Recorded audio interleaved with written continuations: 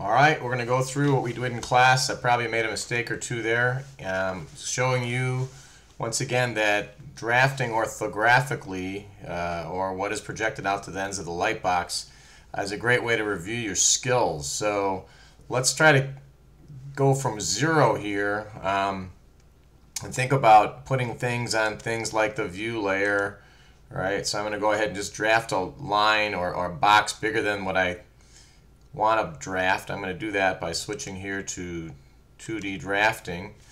Realizing that if we're going to make a polyline, which is a pretty nice way to drill a bunch of things, we're going to right away after that um, explode it. So I'm going to go ahead and draft here, make a box bigger than I, what I wanted, and now we may make that box at 6 comma 6.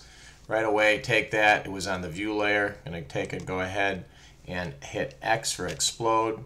Then, of course, use a determine a, a strong baseline. I'm going to offset each of these lines by 1.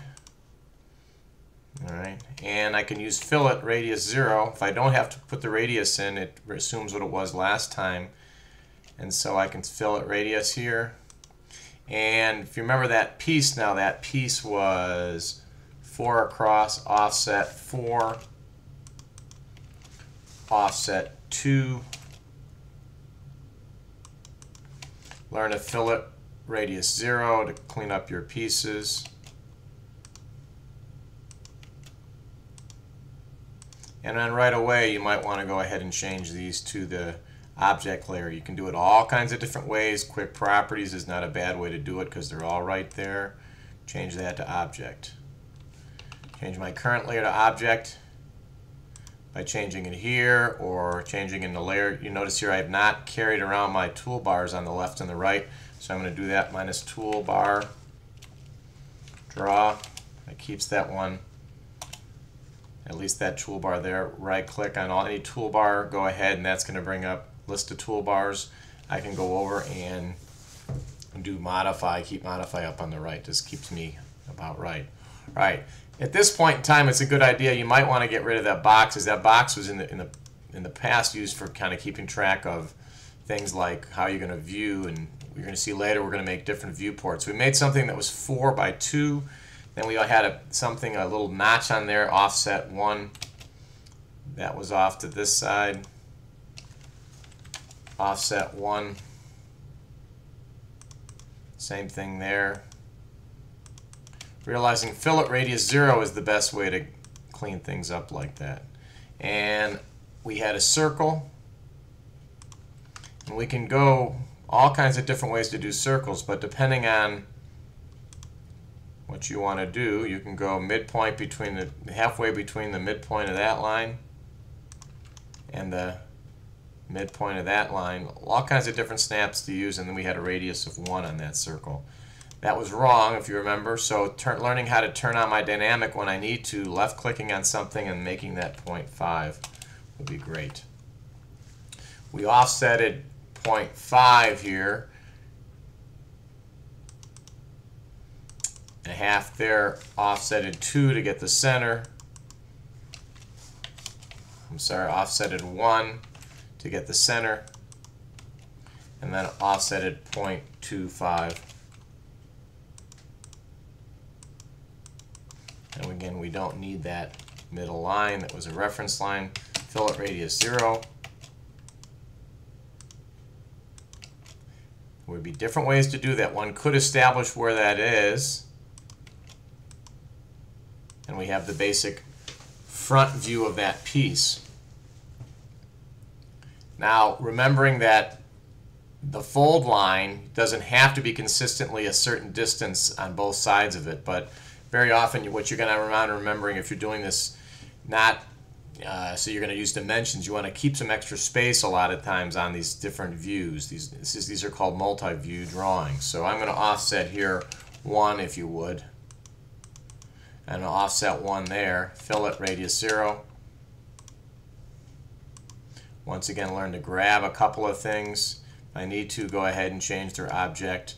This time I put it on the fold lines layer.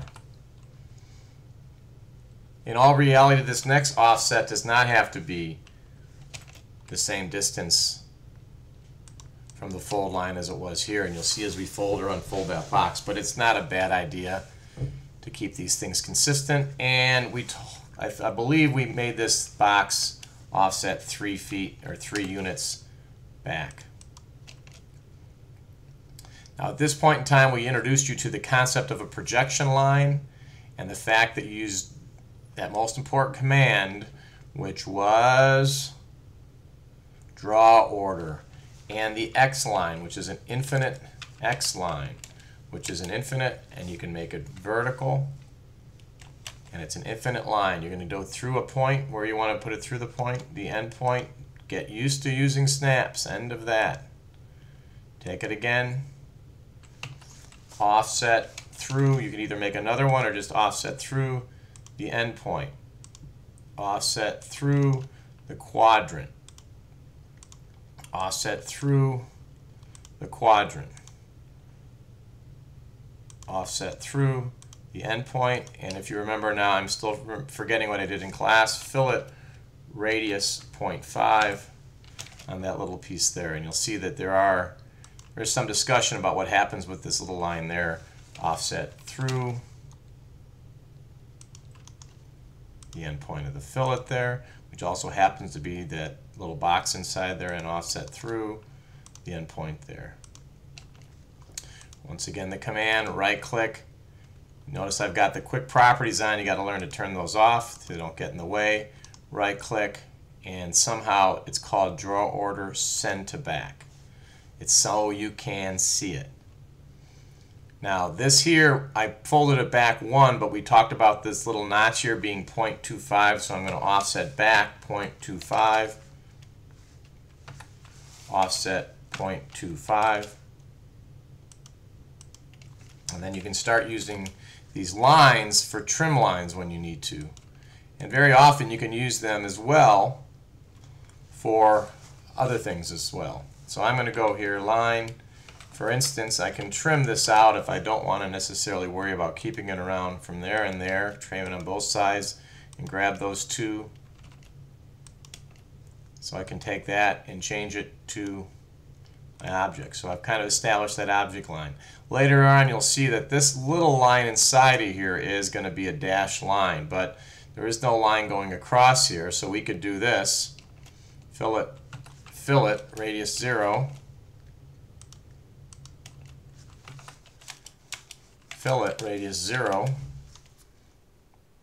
Or if you hold the shift, it will draw a 0 radius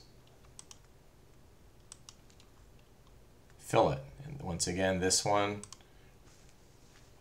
learn to change it any kind of different way so it's on the right layer. Starting to go through your drawing here. Fillet, holding the shift,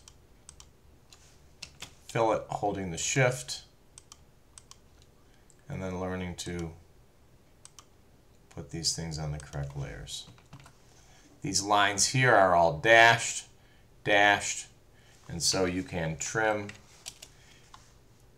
You can select all, and then you can learn one of your options for trim is F for fence. In other words, you're going to draw a fence across a list of things that's going to trim them all.